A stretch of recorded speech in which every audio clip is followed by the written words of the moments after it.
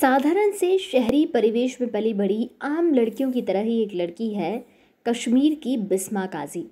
मगर बाकियों से ये कुछ खास है, क्योंकि उनकी कामयाबी की कहानी कुछ अलग है। बिस्मा काजी बचपन से ही स्कूल की टॉपर रहीं, बी इलेक्ट्रॉनिक्स इंजीनियरिंग में गोल्ड मेडलिस्ट रहीं, साथ ही अपनी फीलिंग्स को खूबसूरत पेंटिंग के ज़रिए उकेरना कोई उनसे सीखे। साल 2017 से पहले श्रीनगर में अपने घर आस पड़ोस साथ सहेलियों में बस यही उनकी पहचान थी। लेकिन जून 2017 में यूपीएससी रिज़ल्ट में नाम आने पर gold medalist engineer Bisma Qazi की पहचान बदल गई। तब कश्मीर की वादियों में हर कोई जानने को उत्सुक था कि कौन है बिस्मा काजी। आपको बताते हैं बिस्मा काजी की पूरी कहानी। आज वही बिस्मा काजी बतौर आईपीएस देश की राजधानी दिल्ली में कमान संभाल चुकी हैं। एजीएमडीयू कैडर से दिल्ली में कश्मीर की पहली लेडी आईपीएस हैं। नेशनल पुलिस एकेडमी हैदराबाद से ट्रेनिंग के बाद 25 सितंबर को पहली पोस्टिंग बतौर एसीपी सुभाष प्लेस तैनाती मिली है। कामयाबी के इस ऊँचे मुकाम तक पहुँचना बिस्का काजी के लिए कितना चैलेंजिंग रहा और ऐसे तमाम अनछुए पहलू उनके जीवन में आए जिसका उन्होंने बड़े ही संघर्षों के साथ सामना किया। बिस्मा काजी के मुताबिक वो कश्मीर के श्रीनगर की हैं। माँ पापा की सबसे बड़ी होनहार और लाडली बेटी। घर में पिता मोहम्मद शफी काजी, माँ छोटी बहन और एक छोटा भाई है। श्रीनगर में पिता की शॉप है। उसकी देखा देखी छोटा भाई भी यूपीएससी की तैयारी में जुट चुका है। बहन इंजीनियरिंग की पढ़ाई कर रही है। 2014 में कश्मीर यूनिवर्सिटी से बी गोल्ड मेडलिस्ट कंप्लीट किया। माता पिता आदर्श हैं। घर में बेटा बेटी जैसा भेदभाव कभी नहीं देखा और पेरेंट्स ने हायर एजुकेशन को हमेशा से ही प्राथमिकता दी और यही कारण रहा कि बेटी ने मेहनत से पढ़ लिख कर इंजीनियरिंग में गोल्ड मेडल हासिल किया।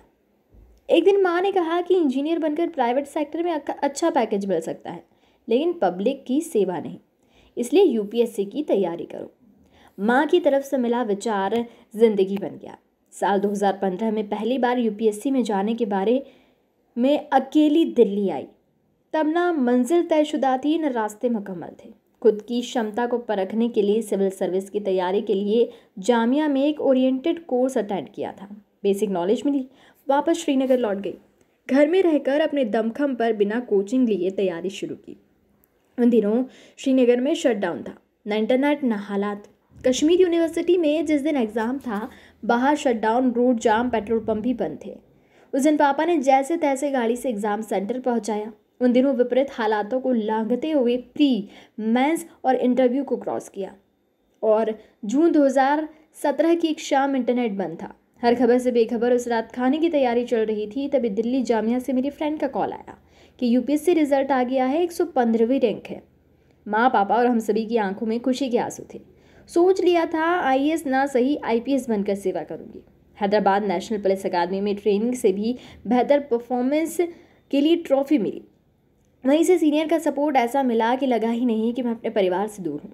आईपीएस पास आउट के बाद शाहदरा ज़िले के थानों में ट्रेनी रही। सीनियर्स ऑफिसर और स्टाफ ने पुलिस प्रैक्टिकल दिया। लकी हूँ कि आईपीएस बनकर पहली posting north west district DCP Vijayanta Arya ma'am की गाइडेंस में मिली।